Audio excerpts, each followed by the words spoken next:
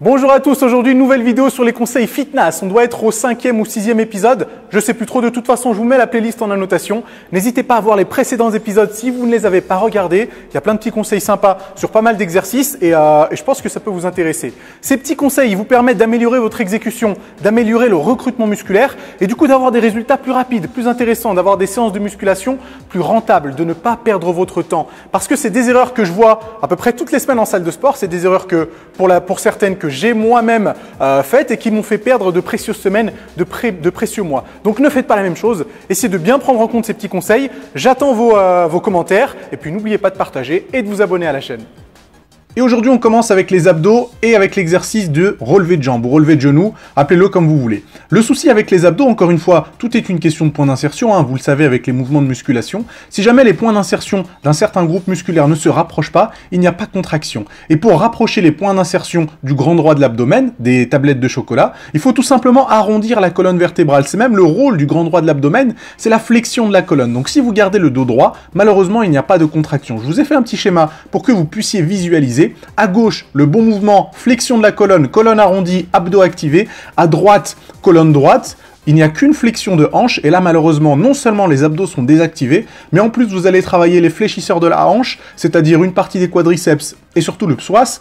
Et les fléchisseurs de la hanche, en général, ils sont déjà hypertoniques chez 90% euh, de la population, donc pas besoin d'en rajouter une couche avec ce genre d'exercice. Donc vous voulez avoir des super abdos, fléchissez la colonne, arrondissez le dos et contractez au maximum. Bon, j'ai décidé de vous montrer mes mollets, donc on se moque pas, hein, c'est juste pour le bien de la science. Alors pour les mollets, je faisais une erreur il y a très longtemps, que je ne fais plus, donc j'espère que ça pourra se traduire en progression sur ce groupe musculaire. J'avais tendance à compenser avec la cheville. Regardez la différence entre les deux images. À gauche, le bon mouvement, trajectoire rectiligne, à droite, le mauvais mouvement, compensation avec la cheville. Vous partez sur le côté, sur l'extérieur du pied, et du coup, les mollets ne peuvent pas se contracter à 100%. Je vous ai même fait une petite ligne pour que vous ayez un repère. Regardez la différence d'amplitude entre les deux côtés.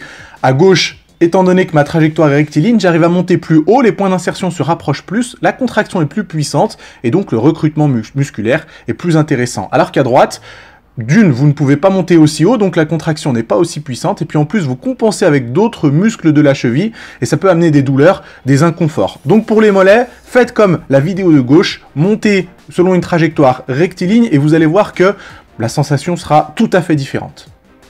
Tirage horizontal, j'en ai déjà parlé euh, sur une vidéo précédente, mais pas pour le, même conseil. Aujourd'hui, on essaye de parler de la position des bras. Rappelez-vous que le grand dorsal, en plus d'être extenseur de l'épaule, il est adducteur du bras, adducteur de l'humérus, c'est-à-dire qu'il va vous permettre de garder les bras collé au corps. Malheureusement, sur le tirage horizontal, si jamais, comme, comme l'image de droite, vous avez les bras décollés, et eh ben malheureusement, le grand dorsal est désactivé. Donc il faut absolument, pour tous ces mouvements-là, que ce soit que ce soit tous les tirages horizontaux en fin de, en fin de compte, hein, à la poulie ou pas, ça s'applique aussi sur le rowing buste penché. Si jamais vous voulez travailler le grand dorsal, il faut absolument faire une adduction du bras, c'est-à-dire garder les bras contre le corps pour être sûr d'activer le grand dorsal. Encore une fois, ça va permettre au point d'insertion de se resserrer un petit peu plus et donc de provoquer une contraction plus puissante.